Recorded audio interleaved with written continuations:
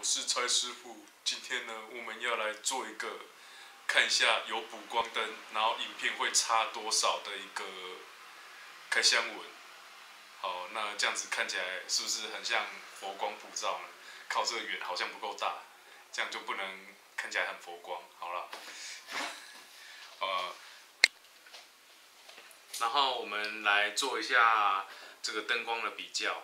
那现在是高强度的亮光，那这个亮光呢，它有暖色系跟那个冷色系，让我们试一下。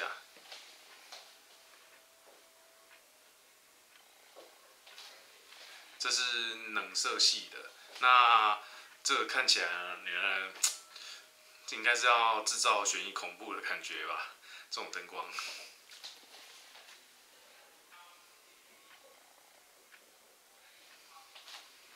然后这是超暖色系的，那你会看我皮肤非常黄，呃，白种人大概就需要这个吧。然后这个灯光很强的话，你看我这个亮到爆炸。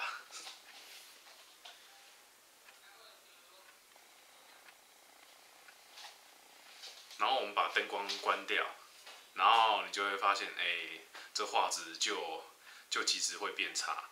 然后我还后来发现一点啊，那个。就是你影片有没有后置是有差的，差还蛮多的。那这这是某一个香港的客人跟我讲说，我影片怎么看起来那个亮度不是亮度啊，是说那个看起来雾雾的。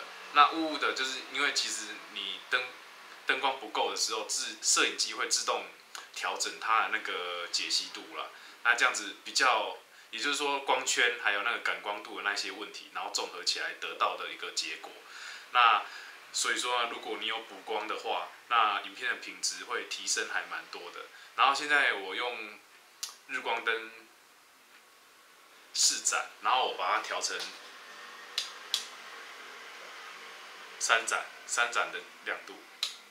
再一次，好，这是一盏的亮度，你就会看到，哎，我人就暗非常的多。我们调回来，然后黄色的，嗯，然后看起来就像恐怖片之类的。好，那这是四盏，然后我们再加补光补光灯。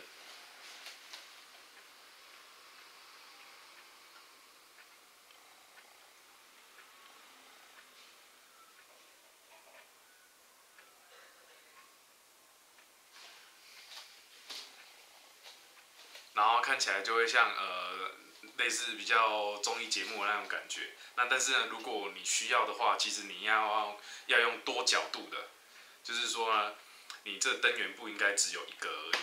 那呃，我之后拍影片呢，也会尽量让那个光源照的好一点。